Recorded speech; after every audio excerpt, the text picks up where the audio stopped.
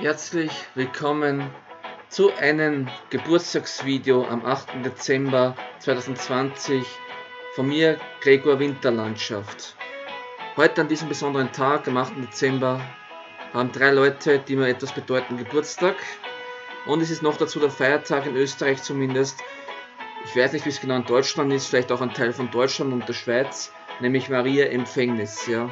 Nicht Maria im Gefängnis, das heißt Maria Empfängnis. Ja. Früher als Kind habe ich auch immer gesagt, Maria im Gefängnis, weil ich so verstanden habe. Ja, naja, jedenfalls will ich zu den Personen etwas sagen, die Geburtstag heute haben. Also erst einmal alles Gute an Ralf, an Petra, Petra, nicht Peter, Petra und an Holger. Jetzt kommen wir zu den Personen. Also, Ralf, kenne schon lange, seit bald vier Jahren. Wir haben uns kennengelernt damals bei Markus Talk. Da wurden wir durch Marco rein zufällig Chat-Moderatoren. Das ist ein Kanal damals bei Marco, also Markus Talk. Und der leider pausiert hat heutzutage. Also der Kanal ist nicht mehr aufrufbar. Könnt ihr auch nicht mehr abonnieren, leider. Und ja, da wurden wir Chatmods quasi. Und so haben wir uns kennengelernt, durch den Motox auch und so haben wir uns quasi näher kennengelernt, was unsere Interessen sind, wo wir wohnen circa, unsere Namen etc. pp. Also beruflich machen und so weiter, ja. Und ja, da habe ich natürlich auch erfahren, dass der Ralf am 8. Dezember Geburtstag hat, ja. Und er ist heute 36 Jahre alt. 1984 ist er geboren, genau. Quasi letzte Zahl beim, ja, beim Casino Roulette kann man sagen, ja. Und ja. Ich mag ihn wirklich sehr. Er ist ein besserer Freund für mich geworden. Er hat auch so seine Eigenheiten, seine Verrücktheit und so. Und ja, manchmal kann er auch ein bisschen unerträglich sein, störend sein, aber sonst ist er ein netter Kerl, ein lieber Kerl macht immer Späße etc. und so weiter. Ja. Und vor allem Dingen, er kennt sich auch bei technischen Problemen aus. Vor allem Dingen bei Internetproblemen, also mit Sachen Technik, Computer, Internet, Handys kennt er sich sehr gut aus. Und hat uns schon oft auch ausgeholfen, so auch mit Computer, so mit Internet, auch was mit, ja, wenn man gehackt worden ist, was man da tun kann und woran das liegen kann, kennen sich auch aus. Aber vor allem Dinge bei Internetproblemen, wenn Internetabbrüche sind, da kennen sich bestens aus. Weil das hat am eigenen Leib gespürt, ja, wie er Probleme gehabt hat mit dem Internetanbieter damals, der mit T anfängt und mit M aufhört und halt so pink ist mit der Farbe her, wie soll ich meine. Ja, und das ist quasi sein Markenzeichen, ja. Da habe ich heute auch in den Rap erwähnt, quasi als Lied, ja. Und sonst, ja, er ist auch Chatmoderator bei mir. Wir beide waren Chatmoderatoren, Kollegen, nicht nur bei Marco, also bei Markus Talk, sondern auch bei Holger. Holger Kreimeier bei Massengeschmack TV quasi. Und ja, er macht auch die Arbeit als Chatmoderator sehr gut bei mir, muss auch loben. Und ja, er hat es nicht leicht im Leben oft, kenne ich von mir. Vielleicht passen wir deswegen auch so gut zusammen. Wer weiß, ja. Also, das waren wir zum Ralf aus NRW. Und dann mag ich auch das Wort Jänner sehr gerne, obwohl er aus NRW kommt, aus Deutschland finde ich auch cool, den noch erwähnen. In Österreich sagen wir Jänner zum nächsten Monat, der übrigens ist. Und die Deutschen sagen Januar. Und er mag halt lieber Jänner, obwohl er Deutsche ist. Das gefällt mir auch. Genau. Und jetzt kommen wir zum, zur, zur Mutter von Excel, nämlich Petra. Übrigens, eine Schwester von mir, eine Halbschwester, heißt auch Petra. Deswegen habe ich mal auch den Vornamen von ihr so gemerkt, so gut. Und die hat heute auch Geburtstag. Ich weiß jetzt allerdings nicht, wie alt, nicht genau, wie alt sie geworden ist. 50, 51, ich bin nicht ganz sicher, ich will nichts Falsches sagen. Deswegen sage ich nur, sie hat Geburtstag. Und ja, wollte auch was dazu sagen, sie ist auch eine sehr nette Frau, eine sehr nette Person, was ich so hörte bei Excel immer bei seinen Streams. Und sie hat mich auch damals, unter anderem hat sie auch entschieden, dass ich reinkomme bei dem Battle Rap Turnier. Quasi, das war das vorletzte Battle Rap Turnier. Auf seinem YouTube-Kanal ehemals bei Excel 95, Acker Tobias. Und da hat auch sie mitentschieden, dass ich rein darf und dass ich super rappen kann. Also A Cappella damals. Und dann hat Excel mich reingenommen. Aber ich habe beim vorletzten Rap nicht mitmachen können, weil da war schon quasi die Runde voll. Also es waren schon, glaube ich, 8 oder 16 Leute schon vorhanden. Und da hat der Excel dann gesagt, ja, ich kann beim nächsten Mal mitmachen. Also sozusagen eine Wildcard. Also quasi ein Bonus, Bonuscard oder wie man es nennt, ja. Dass ich nächstes Mal gleich mitmachen kann, ohne mich beweisen zu müssen. Vor Excel. Gut, ja, dann vergingen ein paar Wochen. Dann war das letzte Battle Rap Turnier. Leider muss ich sagen, das letzte. Ich habe damals gedacht, es wird nicht das letzte sein, aber es war dann leider das letzte. Das war am 31. Mai 2019, so genau weiß ich noch das Datum. So zwei Tage vor meinem Geburtstag damals war es gewesen. Und da habe ich mitgemacht, der Extra habe ich gleich reingenommen, der hat das noch gewusst. Und ich habe am Anfang geglaubt, ich falle gleich raus. Irgendwie war ich wie so, soll man sagen, so, so negativ eingestellt, weil ich schon alles von meinem Leben kannte, von der Schulzeit, Studienzeit, vom Führerschein und so weiter und so fort. Aber nein, dem war nicht so. Ich habe das Battle Rap Turnier, das letzte von Excel 95 gewonnen gehabt. Darüber habe ich mich sehr gefreut. Da habe auch in Excel 95 Acker Tobias dafür sehr gedankt, dass er mir die Chance gegeben hat, dass ich das machen durfte machen konnte. Weil so viele Chancen hatte ich oft nie in meinem Leben. Ich sehe aufgrund meines Autismus oder weil ich zum Beispiel Russe bin oder so, das wisst ihr schon längst Bescheid, auch durch mein Buch, Der Bildungswahnsinn und ich. Da habe ich auch quasi Excel erwähnt, halt nicht den Namen, aber ich habe erwähnt, dass er mir wirklich da Chance gegeben hat und an mich geglaubt hat. Und das habe ich sehr ehrenhaft gefunden. Deswegen habe ich auch der Mutter von Excel gestern 5 Euro auch gespendet. Ja, wo ich nicht müssen hätte, aber ich habe es gerne gemacht. Und da wollte ich auch nochmal sagen, alles Gute auch an die Mutter von Excel zum heutigen Geburtstag.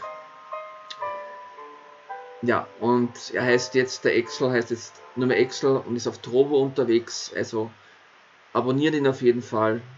Kann nicht schaden. Leider kann er nicht mehr auf YouTube streamen oder auf Twitch, weil er da gebannt worden ist, leider. Aber er hat immerhin noch Trovo. Ja. Und was noch dazu sagen wollte, bei Ralf ist genauso. Ihm habe ich auch was gespendet, nicht wenig. Ich habe ihm das Bild gezahlt für den Rap. Ich habe heute mit ihm Casino gespielt mit Echtgeld. Er hat sich alles aussuchen können. Und ich habe bei Unge ihm auch gegrüßt, aber auch wieder gespendet. Von daher habe ich schon was von meinem privaten Geld auch hergegeben für meine Freunde, für den guten Zweck. Weil man hätte immer sagen, ich behalte noch alles für mich und so weiter. Also keine Sorge. Und ja, das zu dem. Und das nächste ist der Holger, also Holger Kreimeier, AK Massengeschmack TV auf YouTube. Hat auch eine eigene Webseite, Fernsehkritik und so weiter, Massengeschmack TV. Und ja, er hatte mich leider in den letzten Tagen sehr enttäuscht, was da war mit dem Nikolaus-Stream da. Man hat anrufen können, ich wollte anrufen wie immer, hätte, hätte nichts Böses gemacht, gar nichts. War eigentlich immer nett das Anrufen und so. Da wollte man nicht dran nehmen, hat mich gesperrt gehabt, hatte sogar vor 500 Zuschauern öffentlich gesagt, ich darf nicht anrufen. Und das hat mich schon sehr gekränkt und beleidigt, muss ich ehrlich zugeben. Ich meine, wenn selbst ein Typ, der ihn öffentlich vor 1000 Zuschauern damals zweimal hintereinander bedroht hat, ihn mit einem Revolver zu erschießen, ja. Den hat er nicht gesperrt, den hat er auch nicht gesagt, er darf nicht mehr anrufen und so. Das war ihm vollkommen egal. Aber ich, der ihm überhaupt nichts getan hat, der für ihn Chatmoderator war, wirklich mindestens ein halbes Jahr lang, quasi auch die Drecksarbeit gemacht hat, unentgeltlich, der die Hater entfernt hat, alle die Scheiße geschrieben hat, quasi entfernt hat, und am Anfang, wie ich Chatmod war, einige Wochen lang, bevor der Ralf und der Niklas dazugekommen sind, war ich ja alleine und habe 1000 Zuschauer oder 500 circa bewältigen müssen. Das war nicht gerade einfach. Und ich habe es aber gern gemacht. Und ja, er hat mich damals gemocht und dann auf einmal ist irgendwie nicht mehr und das finde ich halt schade, weil ich habe mich quasi für ihn ja, geopfert quasi. Und das finde ich halt schade, dass das nicht gewürdigt wird, ja. Ich habe sogar so eine Hater manche dazu bekommen auf meinem Kanal, die jedes Mal bei jedem Video Dislikes vergeben, nur dass ich damals bei Holger gesperrt habe. Ich halt auch schade. Denk mal drüber nach, Holger, was du machst. Du kritisierst immer gerne andere Firmen, andere YouTuber, andere Fernsehsender und so, wenn sie ungerecht sind zu manchen Leuten oder zu Organisationen und so weiter und so fort. Aber selber bist du kaum besser wenn du mich sperrst, obwohl ich nichts gemacht habe. Nur vielleicht ein bisschen anders bin als Anrufer als andere Anrufer. Überleg dir das mal. Und ja.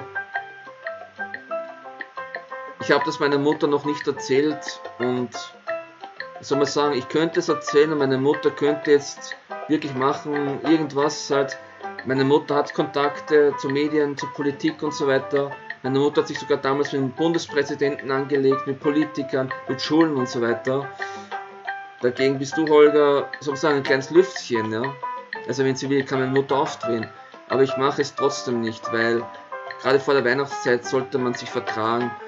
Und ich finde, wir können uns mal aussprechen oder vielleicht kann meine Mutter mit dir reden, ganz zivilisiert, ganz gesittet und ruhig, weil, schau, wir haben uns trotzdem immer vertragen, die Leute haben es gewollt, dass ich angerufen habe, vielleicht nicht alle, schon klar, aber kann es nicht allen recht machen, aber die meisten haben, haben meine Anrufe gemocht und sie hätte es nicht so viele Gegenkommentare bekommen bei der Nikolaus-Stream und dass welche angerufen haben, dass ich anrufen soll. Ich meine, das sagt schon alles aus. Wer würde das sonst machen, wenn ich jetzt nicht als Anrufer gefragt wäre? Verstehst du, Holger? Ich meine, das schadet deiner Firma ja auch nur, wenn jetzt plötzlich nur mehr gehatet wirst. Nicht nur von meiner Community, weil ich habe denen gar nichts gesagt, wirklich. Ich war nur traurig und sauer an den Tag. Aber die Leute machen es automatisch, die kriegen das ja mit. Das wäre auch nicht gerade der Hit für dich, oder? Ja, ich wollte dazu sagen, ich hoffe, wir können es wieder vertragen. Ich kann wieder nochmal anrufen. Ich meine, ich tue ja nichts. Ich tue nichts Böses. Ja. Früher war das ja auch nie ein Problem bei, bei, für dich. Ja. Du kannst auch mal gerne meine Winterlandschaftsplauderecke anrufen. Habe ich auch kein, auch kein Problem damit. Wenn die 100. Folge kommt, bist gerne eingeladen als Gast als Anrufer. Ja. Mal umgekehrte Situation. Dann im Jänner oder Januar 2021, wenn die 100. Folge kommen wird. Im neuen Konzept. Ja, das war zu dem jetzt, was ich sagen wollte. Und auch trotzdem alles Gute nochmal zum Geburtstag, lieber Holger. Und Grüße nach Hamburg.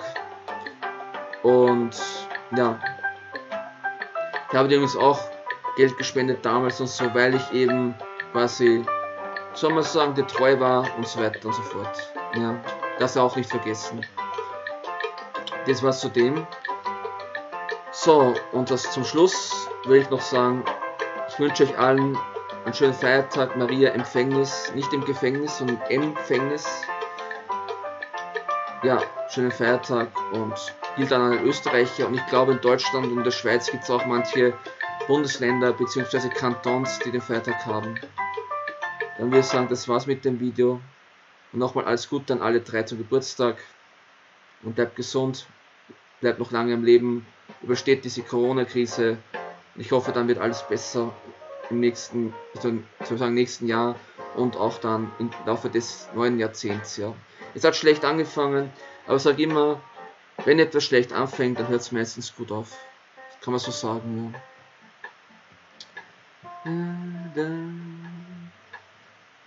Happy Birthday to you. Happy Birthday. Lieber Ralf, Holger, Petra, Happy Birthday to you, oh yeah. Dann tschüss ihr Lieben, tschüss Dosvidania, euer Gregor Max, Acker Winterlandschaft. Tschüss.